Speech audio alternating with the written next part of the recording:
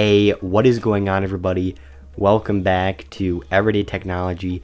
Nate here, back at you with another video, and yeah, I've got a new little filming setup right here. It's not permanent, but you know, I'm changing things up. Anyways, today's video is going to be about this guy right here, the Maono USB condenser microphone. Now, this goes for around $70 on Amazon.com and if you remember, I previously reviewed a Sudotack microphone um, that I uploaded in the fall. And I really, really liked that mic, and it was actually around $10 cheaper than this one. But it didn't come with this boom arm because, yes, this mic comes with the boom, comes with the pop filter, and shock mount, and even a foam windscreen. And if you remember that video, I really, really liked that mic and I even went as far to say that it was the king of budget USB microphones. But this mic right here might actually take the throne. Now, like most USB microphones, it's just plug and play, so no drivers needed. Just plug it right into your laptop and you're ready to start recording. Now, right out of the box, I noticed that this mic was extremely heavy, which is an extremely good sign if you're looking for build quality, and that even translates a bit into audio quality. And I have to say, both build and audio quality are of the superb quality when it comes to this microphone. Everything feels really sturdy as far as the accessories, the pop filter, the windscreen, of course, you know, it's plastic, so I'm not going to really talk too much about that build quality wise. But uh, yeah, the shock mount and the microphone all feel fantastic. The only real problem was the boom stand. It's not the best. It, you know, it stays, but every once in a while it will fall down.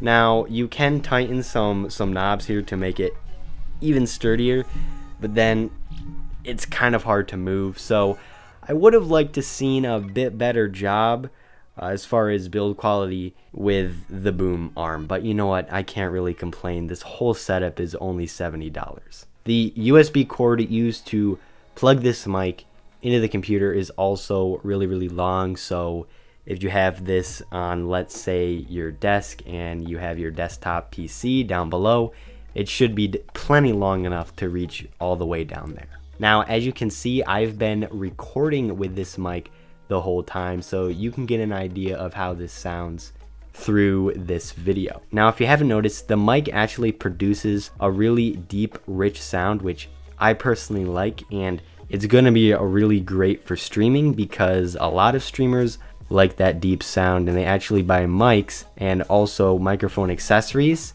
that uh, actually deepen the sound. So having that deep sound right out of the box is a really nice addition with this mic. Now, a reason that the audio might sound really deep and rich is because it has a 192 kilohertz recording quality, which is a lot higher than most other microphones. And it also has a really flat frequency response from 20 hertz all the way up to 20 kilohertz, so you're going to get a wide range of sounds with this mic. Now, of course, all that technical talk really won't translate much if this mic sounds like absolute garbage and It really does not.